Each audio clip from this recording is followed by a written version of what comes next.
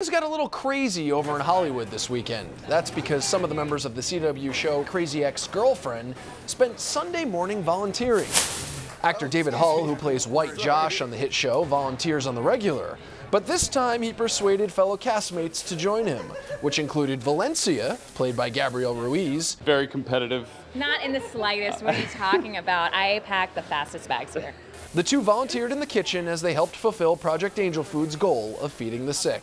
Everyone's schedules are pretty insane, so it's hard to dedicate four or five hours on your Sunday morning, which is the only day off that we really have. But uh, but everyone everyone was completely willing. Every uh, as soon as I sent the email out, everyone was down. For more information on Project Angel Food, head to angelfood.org. With your entertainment report, Doug Kolk, KTLA 5 News.